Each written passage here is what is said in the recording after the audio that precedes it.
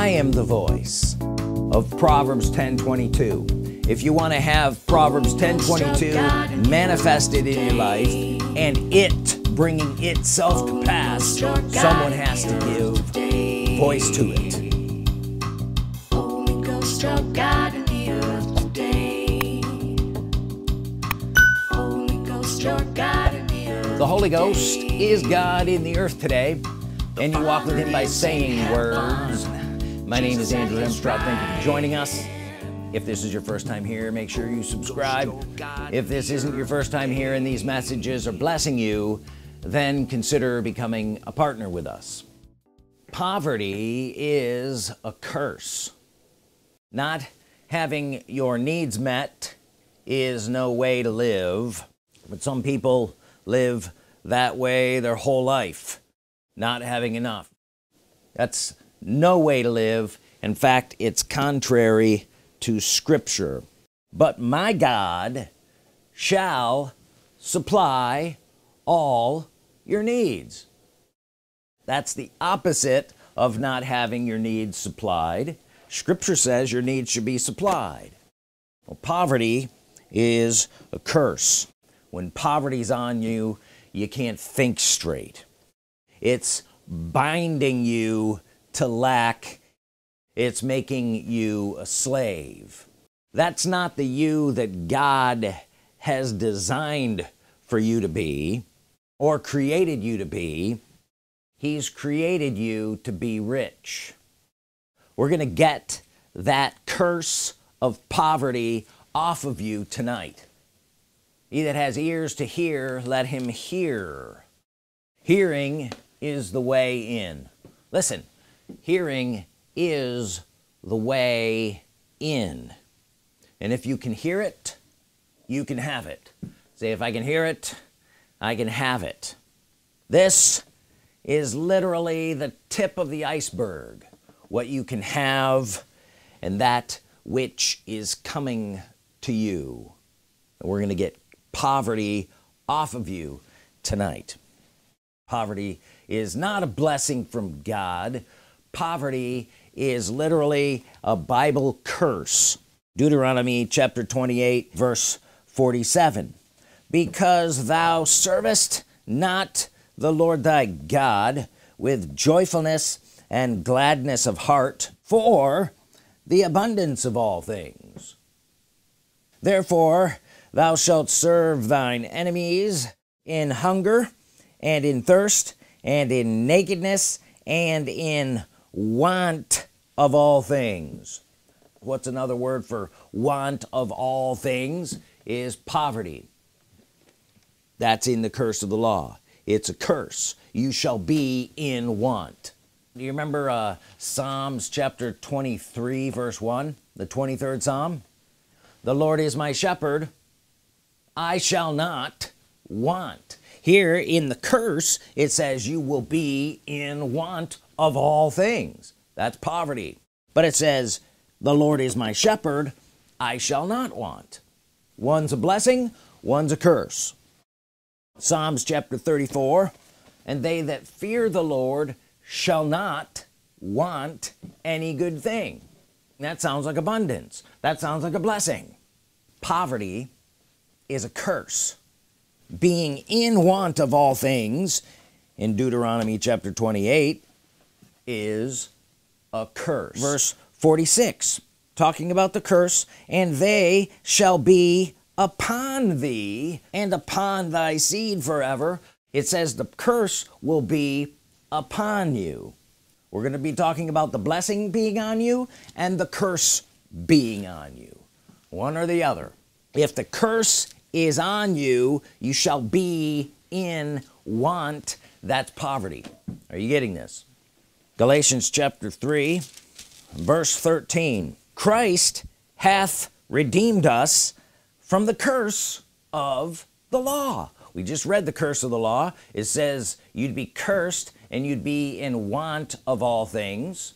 That's poverty. Christ hath redeemed us from the curse of the law. So he redeemed us from poverty. Say Christ redeemed me from poverty verse 14 that the blessing say the blessing of Abraham might come on the Gentiles through Christ Jesus. So Christ redeemed us or took off the curse of the law took off poverty and that the blessing would come on the blessing of Abraham. Well what do we know about the blessing of Abraham God blessed Abraham and made him rich. The Bible says very rich in Genesis chapter 13 2 so the blessing does something to you. Now you can understand that right? If the curse is on someone it does something to them. It makes them poor and keeps them in poverty. If the blessing is on you it does something to you. It makes you something. Here we saw that it made Abraham rich so Jesus redeemed us from the curse took the curse off so that the blessing would come on. Say the curse is taken off and the blessing has come on. Are you blessed or are you cursed? Say I'm blessed. So the blessing does something to you. Genesis 13 2 says it made Abraham very rich. Say very rich. You know and it's the same blessing that comes on you what should it make you? Rich? It should make you very rich. Say the blessing on me should make me very rich. Proverbs chapter 10 verse 22 the blessing of the Lord it makes rich. And he adds no sorrow with it. When the blessing is on you it makes rich the blessing of the Lord it maketh rich. What maketh rich? It's the blessing that makes. Now here we see the standard of rich. If I'm blessed I'm the standard of rich because the blessing of the Lord makes you rich. It's not money that makes you rich according to the Bible standard. What makes you rich? The blessing.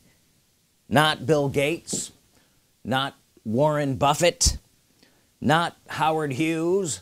Some people are like who's Howard Hughes? Not Andrew Carnegie.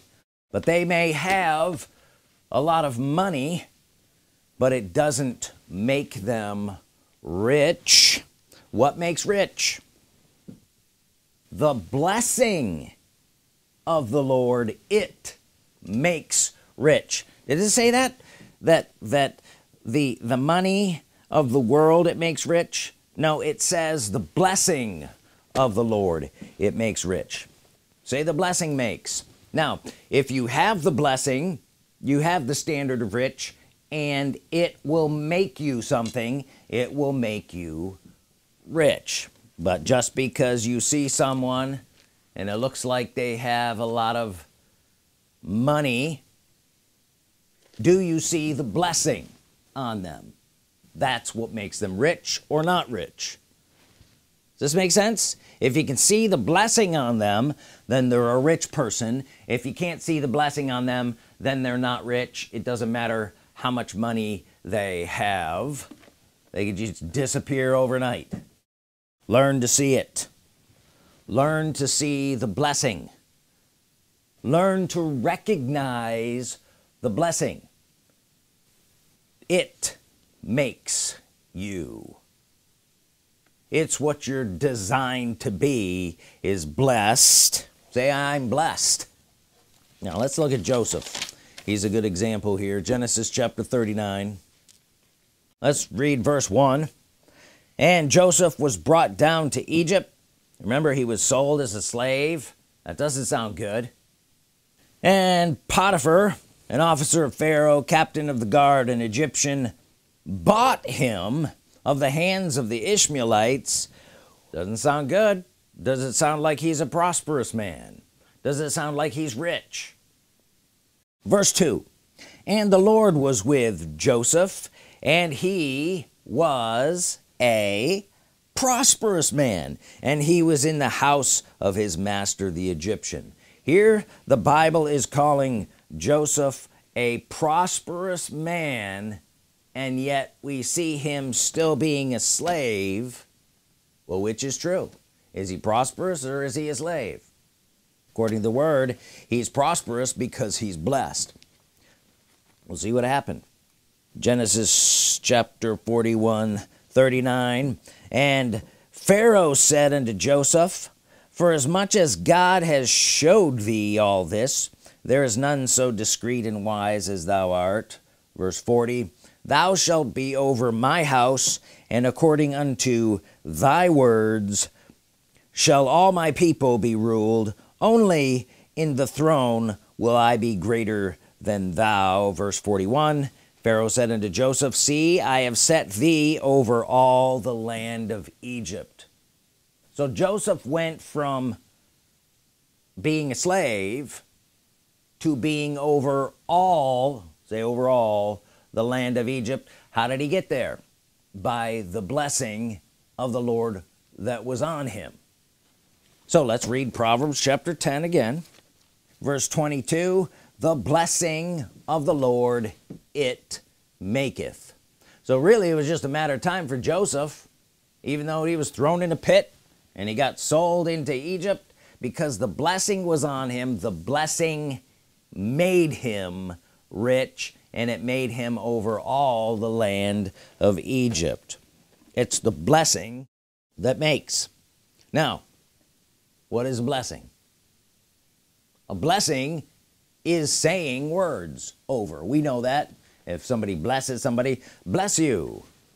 You're saying words. The blessing is saying words. So a blessing is a saying. A blessing of the Lord is a saying of the Lord. Is Proverbs chapter 10 22 a saying of the Lord? The blessing of the Lord makes rich he adds no sorrow with it. Yes the saying of the Lord makes rich and adds no sorrow with it. Read it that way. It says the blessing of the Lord makes rich and he has no sorrow with it. The saying the speaking forth of the Lord it makes rich. Well we know that this Bible doesn't speak by itself. We have to speak it forth right and speaking in agreement with God is the blessing is the saying of the Lord and it makes you something. Here it says the blessing of the Lord makes rich and adds no sorrow with it. I say no to sorrow. No sorrow. I say no sorrow. Sorrow would be the curse wouldn't it? I say no curse. No no. I say no sorrow. And I say yes to the blessing I say made rich.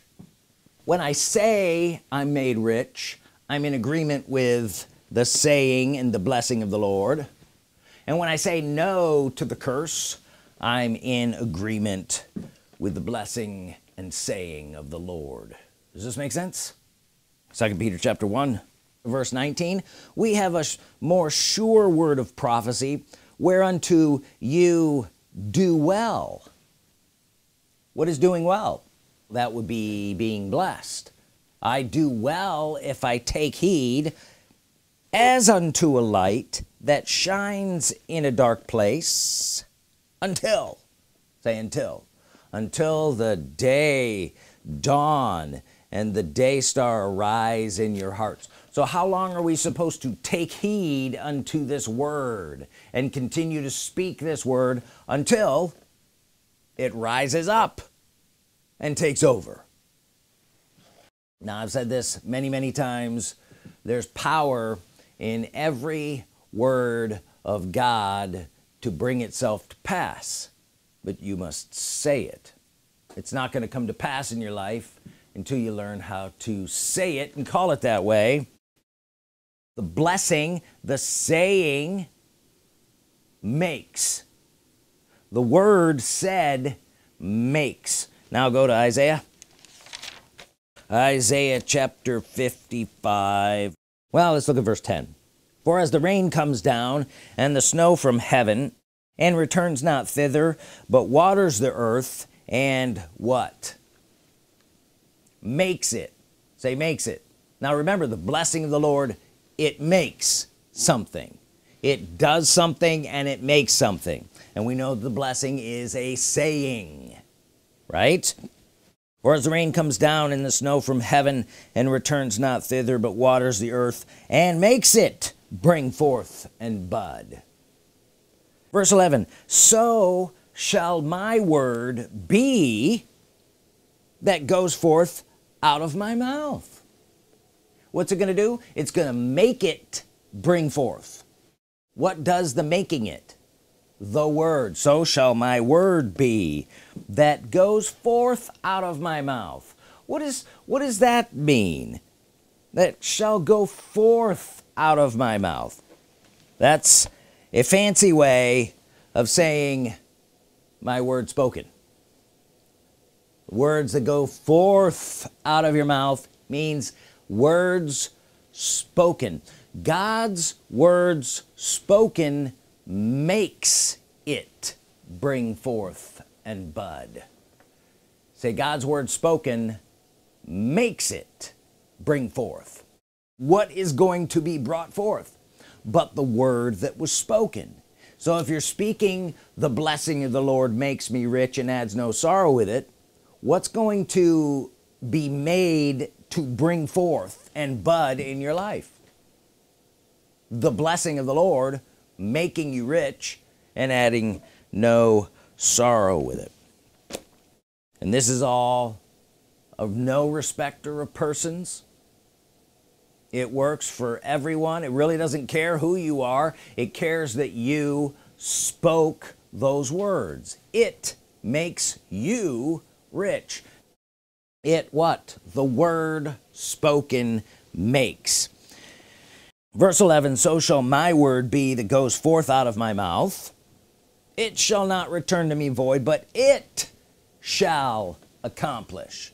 What's the it that shall accomplish? The word spoken out.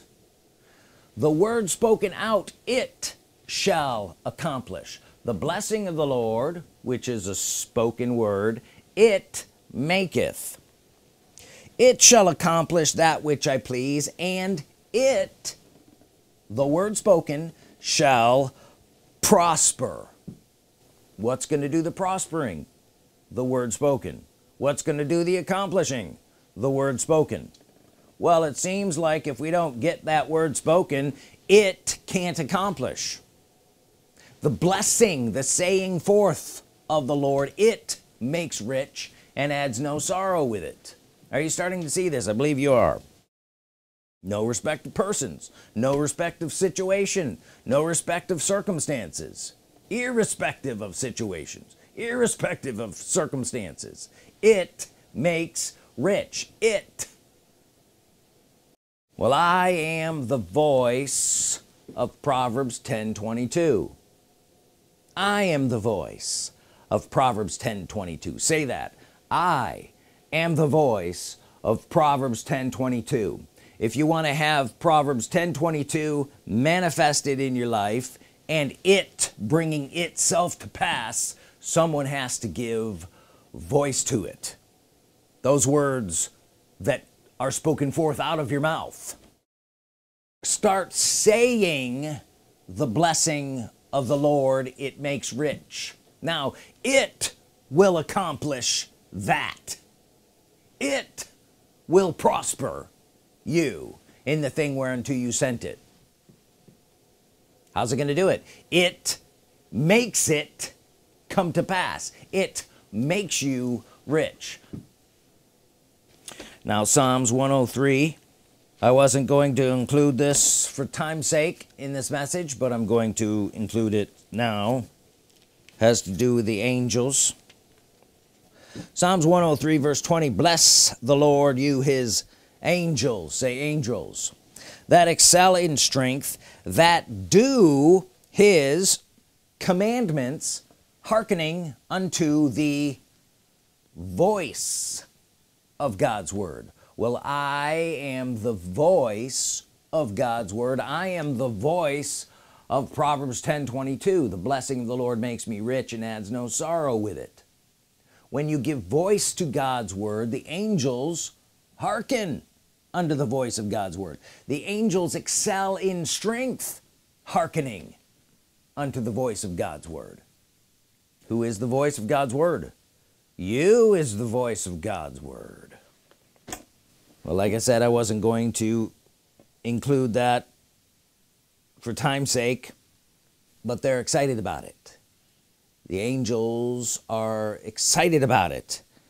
There's so little talk about the angels but they do so much. Maybe they don't do so much for you because you're not giving voice to God's Word. So they have nothing to excel in strength over. But I'm giving you a gift tonight. This Word of God in your mouth. What can't it do? What can't the Word of God in your mouth do would you like to have in your life the blessing of the Lord making you rich and adding no sorrow with it? Would you like that? Or how about the living God giving you richly all things to enjoy? You have to learn how to say it. You have to learn how to wear it. Learn how to put it on. And then you have to learn how to let it change you. As you put it on says the Spirit of the Lord it will begin to reorder your life. It will begin to change you into itself and you shall become chapter and verse you shall begin to wear the clothes that I've designed you to wear and live in the places I've called you to live. It will change your thinking it will change you. I hope you're seeing this. You become different. You think different. Back when we were talking about poverty and and and poverty being a curse when that curse is on you and poverty is on you you don't think right. You can't think straight.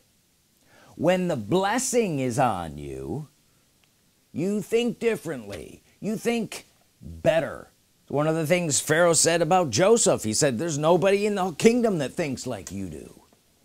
Why is that? The blessing was causing him to be rich. The blessing that was on him was causing him to think differently. Say you think differently. And until you get here you're not thinking right remember we said you you have to keep that word in your mouth until the day dawns in your heart. You keep the word of God on your lips until it dawns on you. Well I don't know what to do. I don't know how to think about that. Keep the word on your lips. Keep the word on your lips. The blessing of the Lord makes me rich adds no sorrow with it. The blessing of the Lord makes me rich adds no sorrow with it oh I still don't know what to do. I still don't know how to think about that situation. Ah the blessing of the Lord makes me rich adds no sorrow with it. Eventually it begins to dawn on you and you think the right way the real way the way you're supposed to be. Learn to get in and think from this place. Proverbs 23 7 says as a man thinks in his heart so is he. This is the real you. The real you is blessed. The real you is a rich person. You think differently. And when you think differently you believe differently and then you act differently.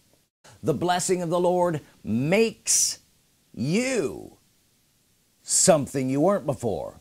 Makes you rich. Say makes me rich that means the way you think is rich. The way you act is rich. It makes you. I think like a rich person. I act like a rich person. I look like a rich person. I smell like a rich person. You talk like a rich person. I invest like a rich person. I do business like a rich person. The blessing is making you just the tip of the iceberg where this will take you.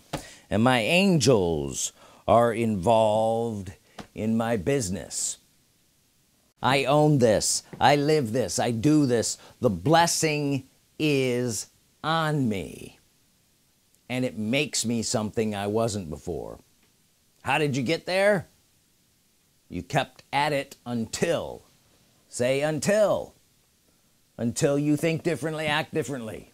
I give big. Rich people give big. I give big. The blessing of the Lord is on me. Say the blessing of the Lord is on me. And that blessing will make you something. Something happens to you. I'm telling you when you sit there and it might look like the, there's situations and things that used to bother you when the blessing is on you you think about it differently. You have a different attitude. You have an attitude. Yes I have an attitude. Proverbs chapter 18 verse 23 the poor uses entreaties but the rich answereth roughly. The poor uses which are you? Are you poor or are you rich? Are you cursed or are you blessed? With the blessing comes rich.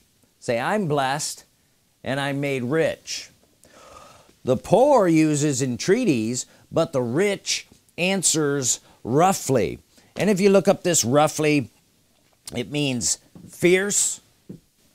It means insolent not showing respect for men or circumstances so something happens to you when the blessing of the Lord comes on you and makes you rich. You think differently about things. You sort of become in indifferent and insolent to uh, situations and circumstances. They don't bother you anymore. You've become above them. You're over the situation. You're over the devil. You're over the circumstance you become indifferent and those things don't bother you. You're given a confidence that supersedes any situation or circumstance.